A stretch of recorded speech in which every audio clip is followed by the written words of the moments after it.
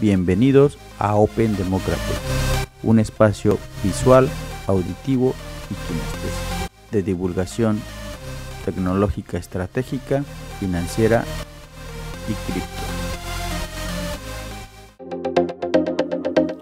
Desde Dallas, Texas, Bitcoin no es una moneda, es un criptoactivo o un activo digital.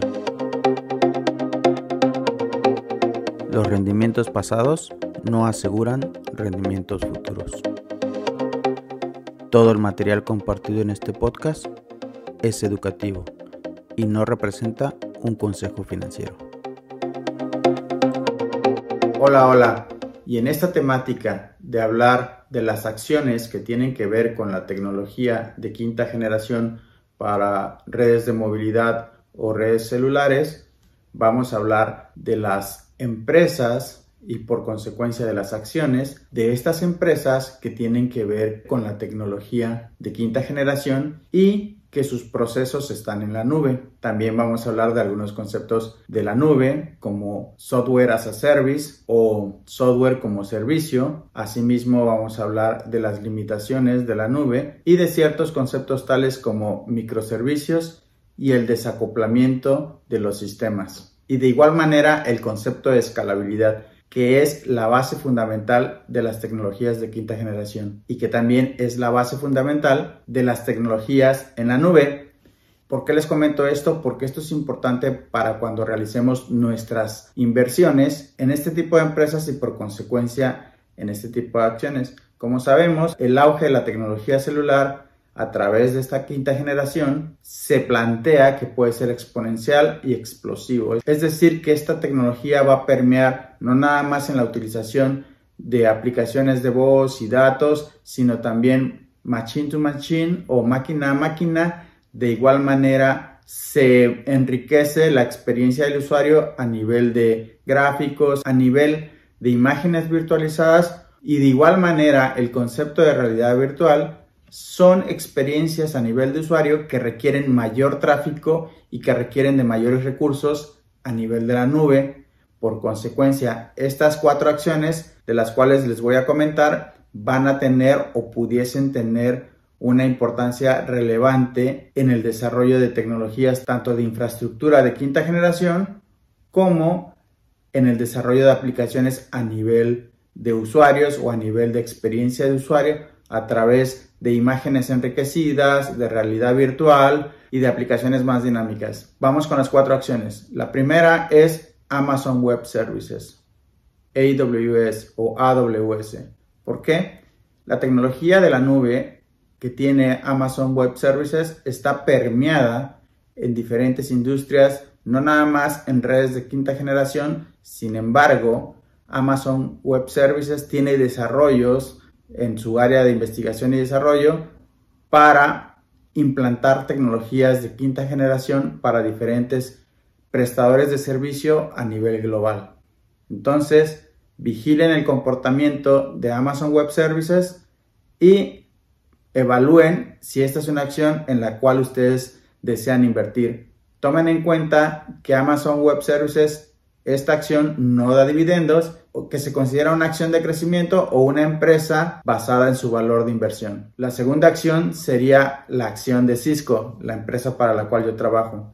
Cisco tiene desarrollos importantes de quinta generación. Asimismo, Cisco tiene una infraestructura de tecnología para mejorar los procesos de seguridad informática, los procesos de seguridad tanto en la nube como en la infraestructura que está a nivel de usuario o también le llaman en el edge de una red celular. Estas tecnologías tienen algoritmos de inteligencia artificial para descubrir zero day attacks o ataques de día cero para descubrir comportamientos anormales en la red, que estas características no están tan expandidas en las redes de tercera generación o en las redes de cuarta generación porque los aplicativos no eran tan diversos. Sin embargo, en una red de quinta generación, la seguridad va a ser un factor súper importante. Y aquí les paso un dato geek o hacker. ¿Por qué va a ser súper importante? Porque los usuarios también pueden simular aplicativos que no precisamente estén encriptados o que sean reales y que pertenezcan a una red de un prestador de servicio y esto hace que la tecnología de ciberseguridad se vuelva súper relevante en una red de quinta generación y es ahí donde Cisco juega un papel importante en redes de quinta generación, por lo cual yo considero que es una acción a considerar si queremos invertir por valor en temas de quinta generación, pero de la misma manera Cisco tiene una oferta súper interesante en la parte de redes privadas, que es donde potencialmente se pueden explorar muchos aplicativos para quinta generación y debido al liderazgo que tiene Cisco en su presencia de este segmento que se le llama Enterprise o de empresas, es precisamente el hecho de que el portafolio de Cisco a nivel Enterprise o a nivel de prestadores de servicio es demasiado diverso y enriquecido porque tiene múltiples productos y que sus ofertas también de Wi-Fi número 6 y de Wi-Fi 5 o de tecnologías wireless es también un portafolio robusto, hace que Cisco sea un buen participante en las redes de quinta generación que son consideradas en el segmento privado, también le llaman en inglés Private 5G o redes privadas de quinta generación, que se predice que son las redes que se van a desarrollar en ciudades inteligentes, en edificios inteligentes, en fábricas, en empresas o centros de entretenimiento, por lo cual es importante observar el comportamiento de la acción de Cisco y considerar si es una acción digna de su portafolio. Consideren que la acción de Cisco proporciona dividendos y bueno, además que tiene desarrollos de forma importante en tecnologías de quinta generación. Ya que yo trabajo para Cisco, les comento que toda esta información es pública y no estoy revelando ningún secreto industrial ni ninguna información privilegiada. Toda la información la pueden encontrar en la página de Cisco o en cualquier otro recurso en línea que referencia el foco de inversión de Cisco en tecnologías de quinta generación. Otra de las acciones que también los invito a que evalúen su crecimiento, evalúen su comportamiento y que también tiene una participación importante en la construcción de tecnologías relacionadas con las redes de quinta generación es la acción de Microsoft. Microsoft inclusive hace unos años adquirió una empresa que desarrolla software para un elemento de red que se llama Packet Core.